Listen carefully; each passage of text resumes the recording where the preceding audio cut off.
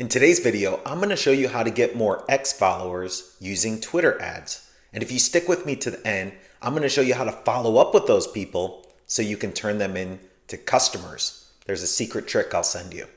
Hey there, my name's Brad Smith, owner of AutomationLinks. I've been doing this marketing stuff for the last nine plus years, helped over 2,500 people, and we are specialists at advertising, follow up, and retargeting with people. And if you want to grow your X, X and Twitter ads are the new place to be.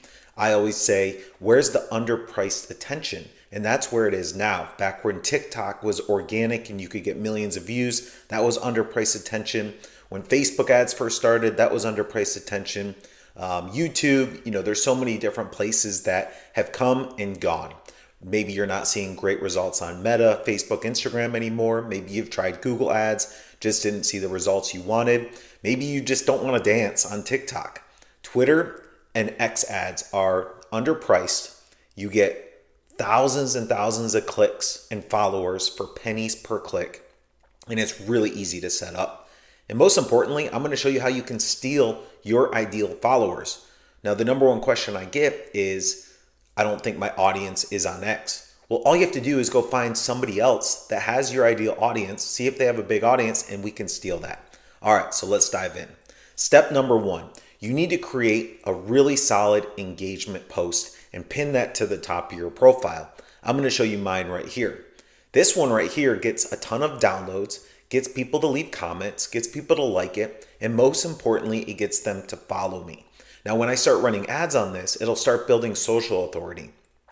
When first someone first comes to your page, we want them to see your first post has millions of views, hundreds of comments, tons of likes and reshares, and that's going to build authority and make you look like a trusted resource. And that's what you want to do on X. You want to provide trusted, valuable educational posts so people can learn from you.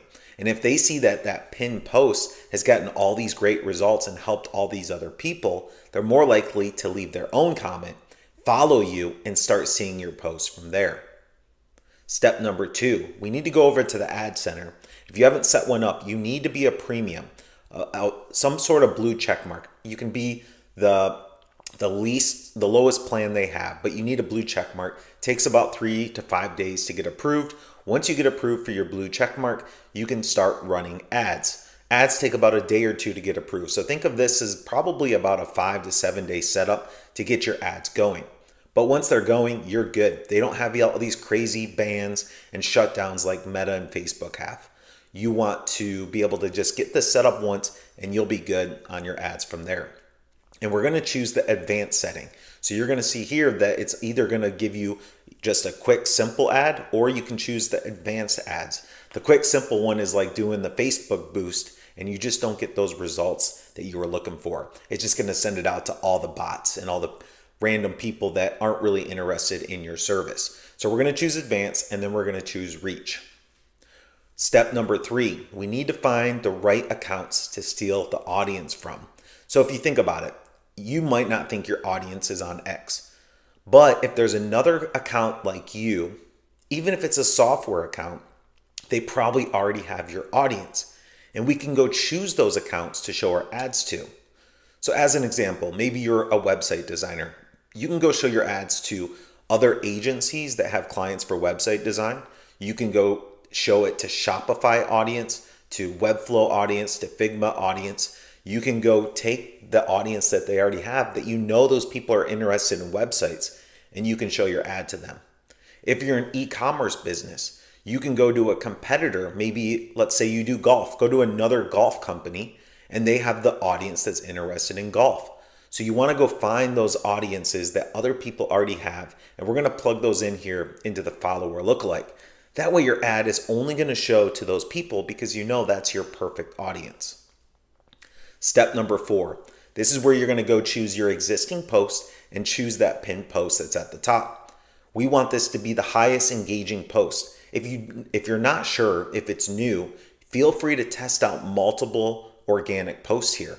So usually we start with maybe five to 10 organic posts that maybe have gotten good comments in the past, maybe a few likes. And if you're brand new, just throw a bunch in there and see which one gets the best results. Whichever one gets the best results, go back and pin that to the top of your profile. That way you can build that social authority. Now, last but not least, run this for a couple weeks and you can come back here in the settings, click on the columns, and you can actually choose to show how many followers you've gotten from this ad. You can also see how much it costs per follower.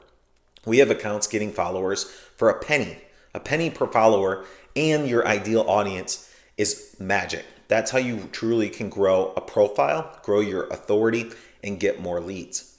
All right, so I want you to comment blueprint down below, and I will send you my guide on how to follow up with these people now. That's the key. It's great to get all these followers, but how do you turn them into a customer? And if, when I send you my guide, you're going to see where I tell you exactly how to leave comments, how to follow up with them, how to send them the DM, and what to happen after they come and follow and leave a comment. So thanks again for watching this video. I hope it brought you a ton of value. And if you're a little bit more advanced and you want to learn more about X ads, I'm going to recommend another video here where I actually break it down and show you how to set up advanced Twitter ads so you can follow up and retarget these people. Pretty cool stuff. Thanks again, and I will see you on the next video.